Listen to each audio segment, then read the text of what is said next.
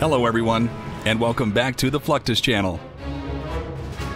There have been several evolutions in world wars and the quest for global power. There were times when foot soldiers usually decided wars in a winner take all method, which placed importance on the tactical intelligence of the commanders of the armed forces.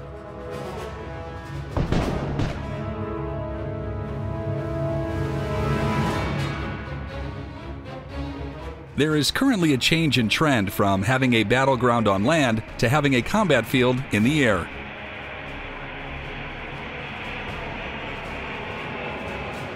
The sky has undoubtedly become a battlefield, and one of the weapons and instruments used in this modern warfare are flying robots.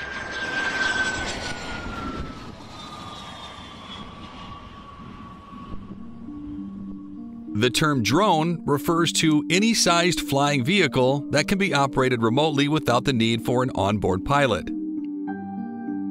Since the early 2000s, Air Forces worldwide have invested billions of dollars into this technology, creating multiple aircraft to perform a wide range of missions.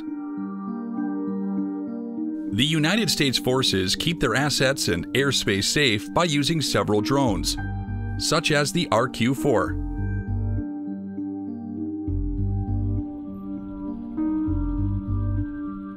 Unmanned surveillance and reconnaissance plane, the RQ 4 has actually been in service since 1998.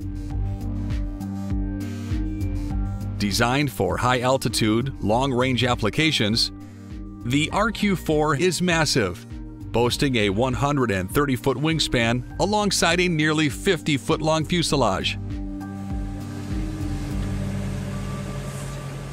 This $100 million drone is powered by a Rolls Royce F 137 RR 100 turbofan engine with some 7,600 pounds of thrust. It features a service ceiling of 60,000 feet and a range of more than 14,000 miles, making the aircraft ideal for missions that might be too dangerous for a manned vehicle. Some RQ-4 fleets are outfitted with communication systems that connect them directly to ground forces.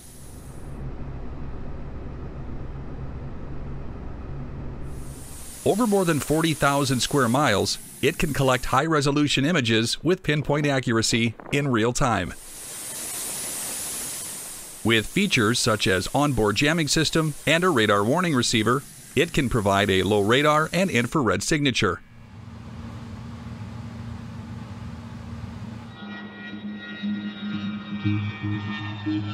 The RQ-4 is controlled remotely with a ground segment, which includes the mission control element and the launch and recovery element. Ground operators communicate with the unmanned aircraft mostly via satellite. The operators can obtain information about the status of the drone and alter navigation and sensor plans during the flight if required.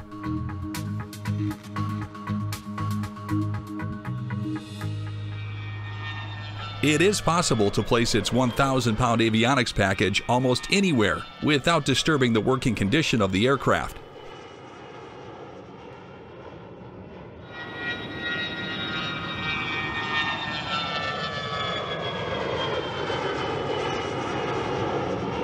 Being a slightly older design, the RQ-4 requires regular maintenance in order to keep the aircraft in tip-top shape.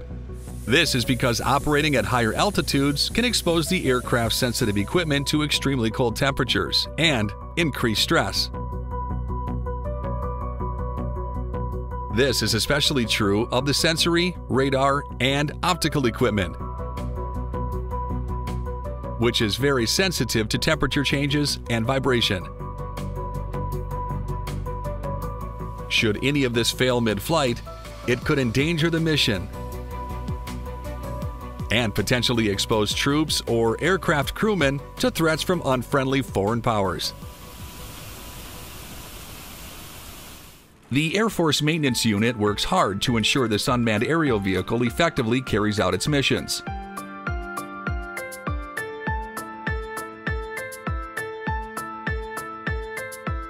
The maintenance can include several extensive structural repair works, including engine changes and the installation of a generator, along with many body repairs.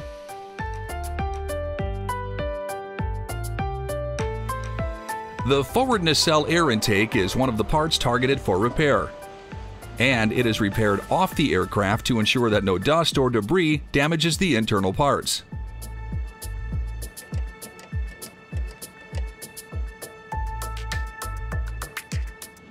The nacelles house more than just the engine and the engine's accessory drive systems. They are aerodynamic structures designed to distribute airflow from the engines properly. In addition, proper maintenance of the fuel system is also critical to the mission of the aircraft.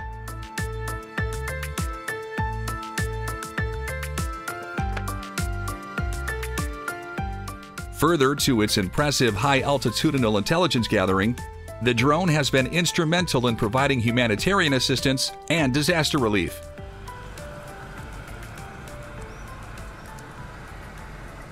This is because it can be used to identify passable roads and territories to enable first responders to plan evacuation routes into and out of disaster zones. It can also identify emergency landing zones in hazardous areas while providing uninterrupted coverage. Hawkeye request on the active for chase. With its near real-time transmission of data to experts, it can identify partially submerged or sunken ships at sea, as well as landscape hazards on the ground. Thus, it might be necessary to be transferred from one specific location to another.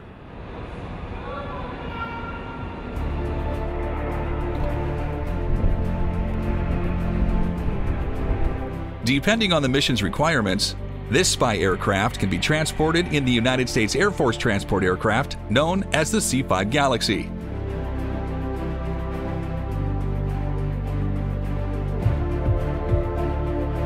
The cargo consists of everything the plane would need to function, including the control center, thereby making the drone highly transportable.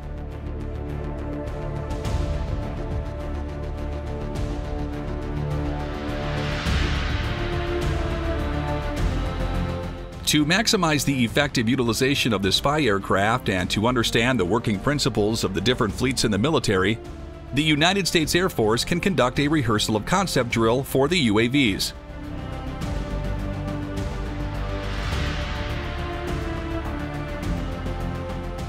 The ROC drill caters to the challenges facing the use of the technology and how to use it to conduct wide area security and medical operations.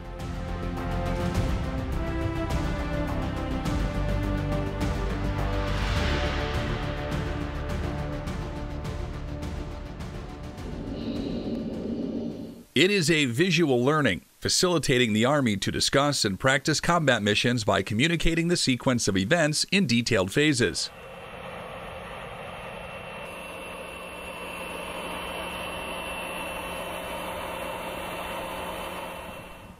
It fosters the development of shared understanding to ensure the smooth execution of the contingency plans when activated.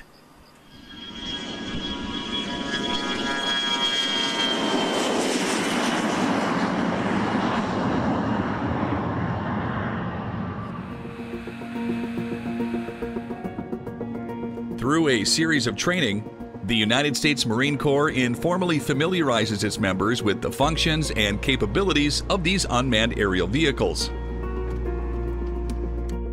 Some of the live training sessions can include the use of the RQ-21A. It is a small tactical unmanned aircraft system deployed in maritime and land-based tactical intelligence, as well as target acquisition and data collection missions. Training for UAVs can be interesting, and using the RQ-21A can provide some tactical advantages, especially since it can be launched from a land-based launcher. Doors are closed. This is because the RQ-21A provides unique capabilities within a network of distributed operations. It can be deployed rapidly with limited footprints.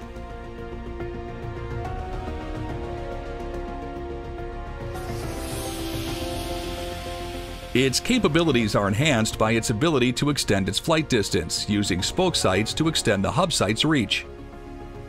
At the same time, the Marines can deploy from the hub location and establish a spoke site during training. More recently, the U.S. Air Force has been experimenting with what it refers to as full-scale aerial target drones. They figured that it was unsurprisingly easy to turn a computer-controlled fighter into a drone. This transformed the aircraft from hunters to the hunted by using them to test sophisticated missiles and electronic warfare systems. Known as the QF conversion program, this process may include modified systems engineering and integration, as well as numerous structural alterations depending on the condition of the parent aircraft. Previously, Vietnam-era McDonnell Douglas F-4 Phantoms were converted in much the same way. Over the years, more than 5,000 of these highly versatile planes were produced, all with the ability to travel at Mach 2.2 and climb as high as 60,000 feet. These veteran fighter jets proved extremely useful during global aerial and ground exercises, where they could simulate incoming planes and perform various attack and evasive maneuvers.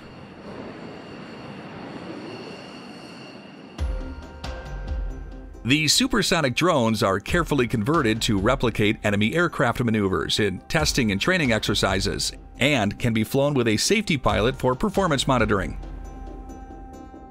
It can also be integrated with electronic and infrared countermeasures for validating the aircraft and weapons fired against it. It will also help in the development of new weapon systems that can be used to neutralize enemy attacks. Indeed, many experts consider the Phantom to be the last excellent dogfighting plane.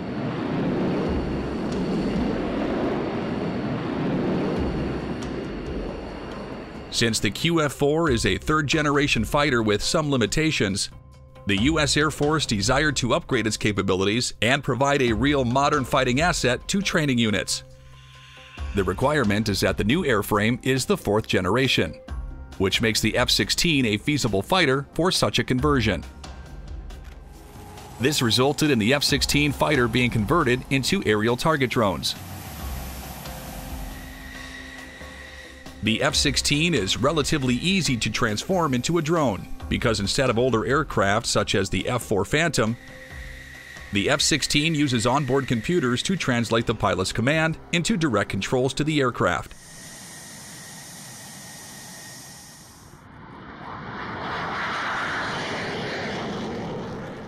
In addition, the modified F-16 drone has an included flight termination system that can destroy the drone if it gets out of control. It also has a command telemetry system, so that the drone can be controlled from the ground, as well as a scoring system to gauge the accuracy of air-to-air -air missiles fired at the drone.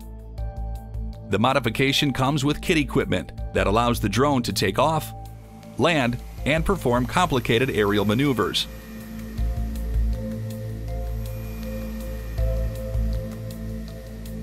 The very first QF-16 successful unmanned mission occurred in New Mexico on August 17, 2016.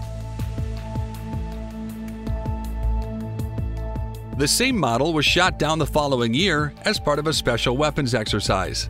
While this practice is expensive, it is the only way air and ground crews can get proper experience on what it's like to engage a real enemy aircraft.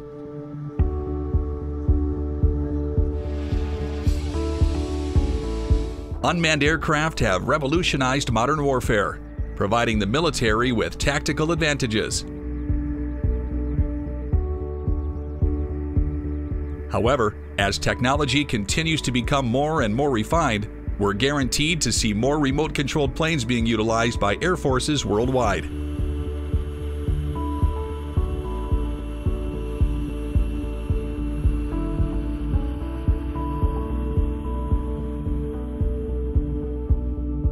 In the end, drones are the perfect way to perform a wide range of missions while keeping pilots and their crews well out of harm's way.